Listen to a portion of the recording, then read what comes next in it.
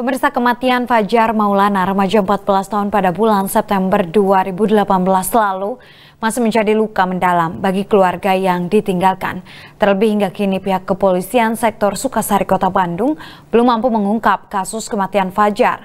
Menurut pengakuan pihak keluarga, korban meninggal akibat adanya tindak kekerasan. Solihin ayah dari almarhum Fajar Maulana remaja 14 tahun yang tewas pada bulan September 2018 lalu masih memendam luka mendalam atas kasus kematian anaknya hingga kini belum terungkap.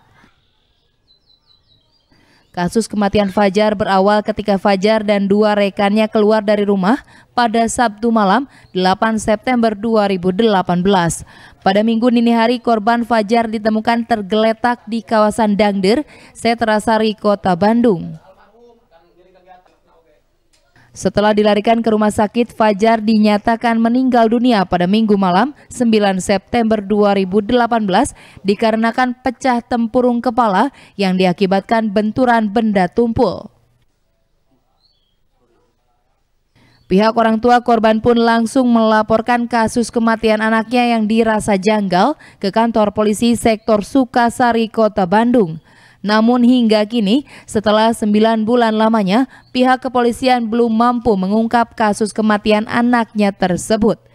Di otopsi, ya kata saya buat apa Pak otopsi? Kan saya nggak tahu otopsi itu untuk apa. Ya dia bilang untuk mengungkap kasus pembunuh anak bapak. Biar nanti kalau udah dapat pelakunya, biar cepat terungkap. Ya saya izinin sama Pak Toto. Nah beres itu sekitar jam 4 anak saya udah beres langsung dibawa pulang langsung ada pemakaman sekitar jam eh, 10 siang.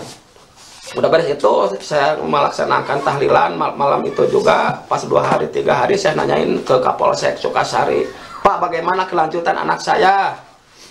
Belum ada titik terang Pak. Nah, udah gitu datang surat yang pertama ya hasilnya nggak ada nol Udah menjelang 40 hari, saya nanyain lagi sama Pak Toto ke sana.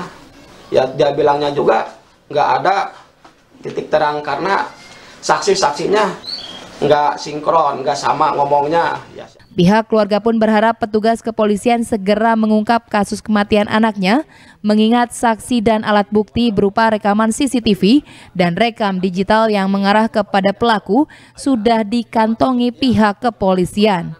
Yuwana Kurniawan, Bandung TV.